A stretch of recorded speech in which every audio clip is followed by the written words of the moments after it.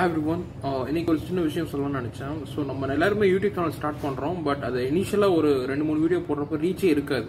சுத்தமாக ரீச் இருக்காது. எனக்கு தெரியும் நான் என் சேனலில் போய் பார்த்தீங்கன்னா forty forty five plus videos போட்டிருக்கேன். அதில் ஒரு சில uh, வீடியோஸ் பார்த்தீங்கன்னா ஒன் ஃபிஃப்டி வியூஸ் மேலே வந்திருக்கு ஒன்று வந்து த்ரீ ஹண்ட்ரட் மேலே வந்திருக்கு.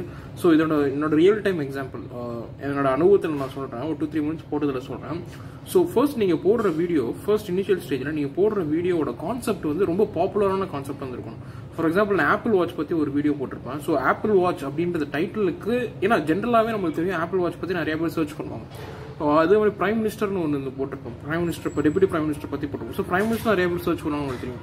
ஸோ எந்தெந்த கீவேர்ட்ஸ்க்குலாம் சர்ச் வால்யூம் ஜாஸ்தியாக இருக்கோ அதை பற்றி நீங்கள் எது பேசினாலும் அதோட ரீச் வந்து ஹெவியாக இருக்கும். ஃபர்ஸ்ட் விஷயம்.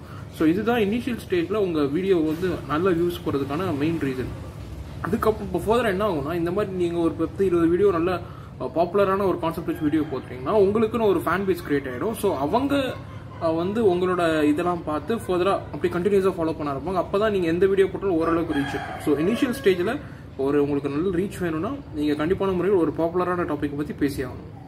இது சொல்லலாம்னு நினச்சேன். என்னோட ரியல் டைம் எக்ஸாம்பிள்